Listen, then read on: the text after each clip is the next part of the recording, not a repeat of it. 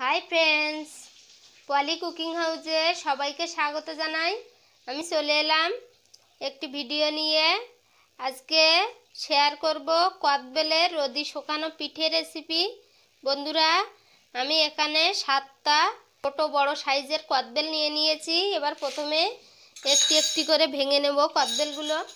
বন্ধুরা, অবশ্যই আমার এই ভিডিওটা শেষ পর্যন্ত দেখবেন এবং এই ভিডিওটা ভালো লাগলে একটা সাবস্ক্রাইব করে পাশে থাকবেন।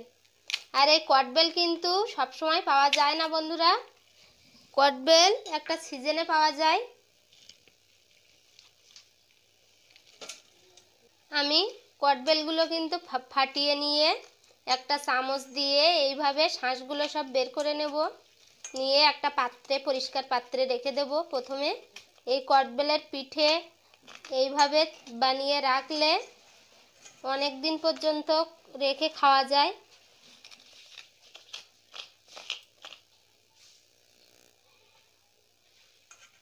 আর এই কদবেলের পিঠেটা ফ্রিজেও রেখে দিলে অনেক দিন পর্যন্ত থাকে।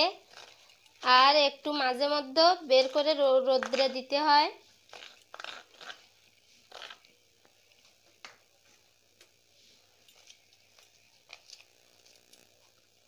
আর এই কদবেলগুলো কিন্তু একদম পাকা। কোনো কদবেল কাঁচা নেই এখানে। একদম পাকা কদবেলের এই পিঠেটা আমি বানাবো। আমি কদবেলগুলো সব ফাটিয়ে শাঁসগুলো সব বের করে নিয়েছি। এবার রেখে দেব।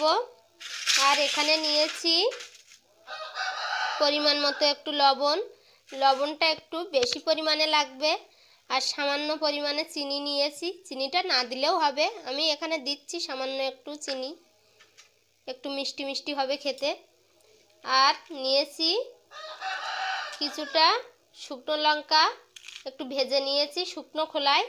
আর এখানে নিয়েছি জিরে, গোটা জিরে ভেজে নিয়েছি।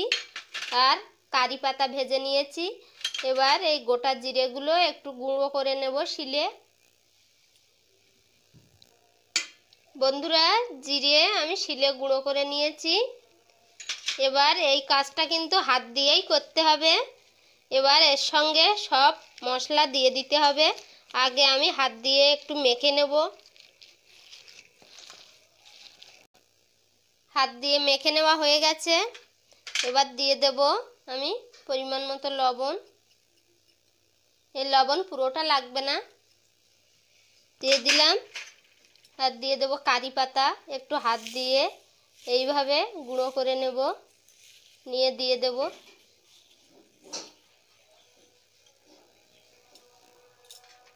এবার দিয়ে দেব চিনি।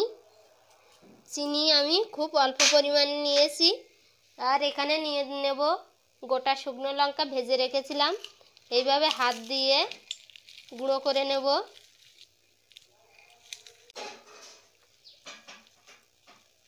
এই যে শিলে বেটে গুঁড়ো করতে হবে না, হাত দিয়ে একটু মুশকে নিলে হয়ে যাবে। এবার দিয়ে দেবো ভাজা জিরের গুঁড়ো দিয়ে সব একসঙ্গে ভালো করে মেখে নেব।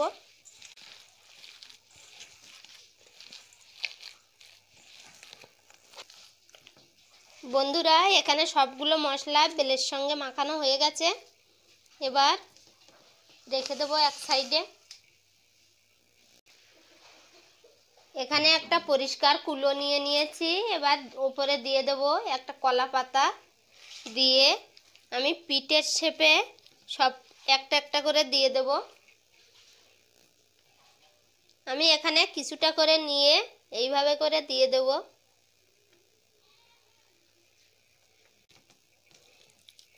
একটু পুরো করে দিতে হবে।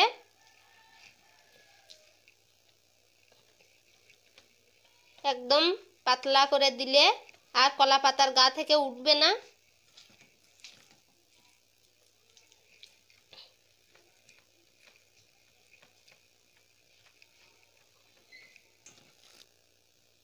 এবার আমি সবগুলো পিঠে একইভাবে দিয়ে দিয়েছি।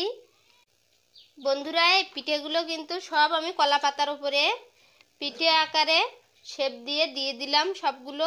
এটা কিন্তু এক থেকে দুই দিন ভালো করে রোদ্রে দিতে হবে, ছায়া জায়গায় রেখে দিলে এ একটা গায়ে সাদা সাদা দাগ এসে যাবে, ভালো থাকবে না তখন।